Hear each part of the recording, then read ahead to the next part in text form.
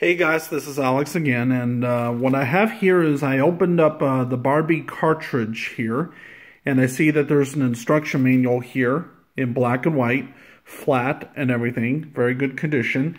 And you get the cartridge of a Barbie here with uh, a chip inside or two, maybe so many.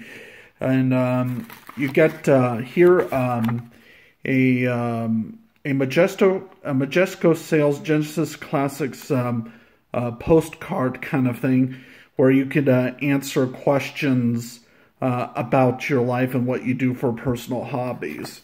And this is basically the Barbie package, and um, I'll uh, see you later.